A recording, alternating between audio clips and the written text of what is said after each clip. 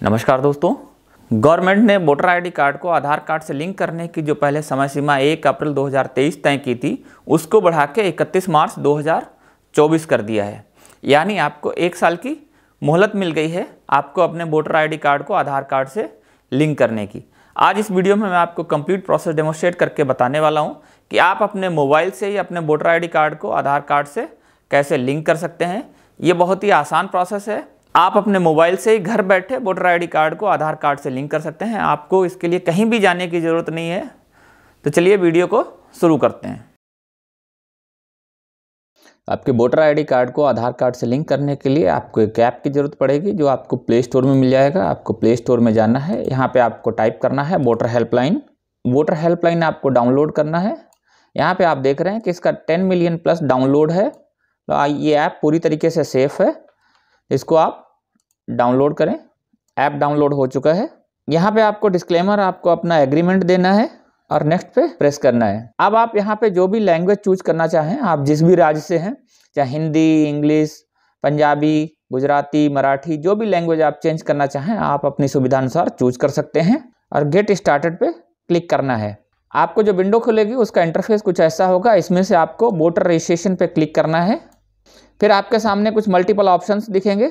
आपको यहाँ पे बहुत सारी वोटर सर्विसेज़ दिखाई देंगी, जैसे लैंग्वेज सेटिंग जैसे new voter registration form six deletion form seven correction of entries form eight इनमें से आपको ये वाला फॉर्म सिलेक्ट करना है फॉर्म सिक्स बी इस पर आपको क्लिक करना है। यहाँ पे आपको अपना लॉगिन बनाना है। अगर आप पहली बार रजिस्टर कर रहे हैं तो आपको यहाँ पे न्यू यूज़र पे क्लिक करना है। न्यू यूज़र पे क्लिक करने के बाद मोबाइल नंबर डालना है सेंट ओ करना है और नेसेसरी फॉर्मेलिटीज़ को कंप्लीट करना है रजिस्ट्रेशन की। मैंने ऑलरेडी रजिस्टर कर रखा है तो मैं इसको स्किप करता हूँ और मैं डायरेक्ट लॉगिन करता हूँ। आपको अपना पासवर्ड डालना है। पासवर्ड डालने के बाद आपको ऐसा स्क्रीन दिखाई देगा। तो यहाँ पर आपको लेट्स स्टार्ट पर क्लिक करना है। अब आपके सामने जो भी स्क्रीन आएगी, वो ये आपसे पूछ रहा है कि do you have already voter ID number अगर आपके पास वोटर आईडी नंबर है तो यहाँ पे आपको वोटर आईडी सेलेक्ट करना है, अथवा अगर आपको वोटर आईडी नंबर आपका पता नहीं है तो आपको इसको सेलेक्ट करना है। वोटर आईडी नंबर कहाँ लिखा होता है? वो आपके वोटर आईडी कार्ड के ऊपर लिखा होता है।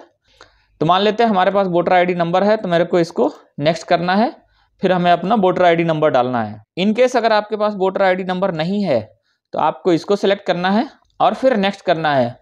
फिर आपको अपना वोटर आईडी नंबर सर्च करना है आपके ज़िले से, आपके तहसील से और आपके गाँव से अथवा शहर से। तो यहाँ पे आपको अपना नाम डालना है, आपको अपने पेरेंट्स या स्पाउस का नाम डालना है, आपको अपना जेंडर सेलेक्ट करना है, आपकी लेस एज, आपको अपनी एज सेलेक्ट करनी है, आपको अपना स्टेट सेलेक्ट करना है, आपको अपना डिस्ट्रिक्ट सेलेक्ट करना है और आपको अपनी असेंबली सेलेक्ट करना है और फेस द डिटेल पे क्लिक करना है। तो आपका जो भी डिटेल होगा, वो ये यहाँ पे दिखा देगा। मेरे पास ऑलरेडी वोटर आईडी नंबर है, इसलिए मैं इस ऑप्शन को चूज़ करूँगा। और नेक्स्ट को क्लिक करना है। अब मैं यहाँ पे अपना वोटर आईडी नंबर डालता हूँ। अब मुझे अपना स्टेट सेलेक्ट करना है। जैसे मैं उत्तर प्रदेश का रहने वाला हूँ तो उत्तर प्रदेश सेलेक्ट करता हूँ। और फेस डिटेल पे क्लिक करता हूँ। जैसे ही आप फेस डिटेल पे क्लिक करेंगे यहाँ पे आपको एक मैसेज दिखाई देगा we have found this record in your enter voter ID please click to proceed button जैसे आप प्रोसीड बटन पे क्लिक करेंगे, आपका पूरा डिटेल यहाँ पे दर्शा दिया जाएगा कि आपका नाम क्या है आपकी एज क्या है, आपका जेंडर क्या है, आपका पेरेंट्स या स्पाउस क्या है, आपका असेंबली क्या है तो पूरा आपका डिटेल आ जाएगा। आप पूरा डिटेल ध्यान से देख लीजिए, उसके बाद आपको नेक्स्ट पे क्लिक करना है। तो आपका पूरा डिटेल यहाँ पे प्री फिल्ड कंडीशन में आ जाएगा। अब यहाँ पे जहाँ पे आधार नंबर आ रहा है, यहाँ पे आपको आधार नंबर टाइप करना है। आपको अपना आधार नंबर सही ध्यान से टाइप करना है। अगर आपका आधार नंबर सही होगा तो यहाँ पे ग्रीन बटन आ जाएगा। आपको अपना मोबाइल नंबर डालना है। इतना डालने के बाद आपको डन कर देना है। अगर आपके पास कुछ ईमेल आईडी है तो आप डाल सकते हैं प्लेस ऑफ़ एप्लीकेशन। उसके बाद आपको अपना मोबाइल नंबर वेरीफाई करना है। वेरीफाई पे क्लिक करना है। इसके बाद दोबारा से आपके मोबाइल नंबर पे एक ओटीपी भेजा जाएगा। यहाँ पे आपको अपना मोबाइल नंबर डालना है। जो मोबाइल नंबर आधार कार्ड से लिंक है और उसको वेरीफाई करना है। आपका Aadhaar number verify, OTP successfully verify हो चुका है। यहाँ पे आपको वो नंबर डालना है जो आपके आधार कार्ड से लिंक है। आपका नंबर वेरीफाई हो चुका है सक्सेसफुली। इसके बाद आपको डन कर देना है। फाइनली आपको फॉर्म सिक्स भी रिव्यू करने के लिए बोल रहा है। आप अपना फॉर्म पूरी तरीके ध्यानपूर्वक देख लीजिए दोबारा से।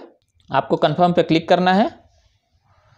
आपका वोटर आईडी आधार कार्ड से सक्सेसफुली लिंक हो चुका है। तो यहाँ पे आपको एक मैसेज दिखाई देगा your application has been submitted successfully on date this your reference ID is this को ओके करना है। अब आपका voter ID card, Aadhaar card से कम्प्लीटली लिंक हो चुका है। तो इसके लिए आपको कहीं भी दौड़ने की ज़रूरत नहीं है। आप दो मिनट से भी कम समय में आप अपने वोटर आईडी कार्ड को आधार कार्ड से लिंक कर सकते हैं। घर बैठे अपने मोबाइल से, ऑनलाइन।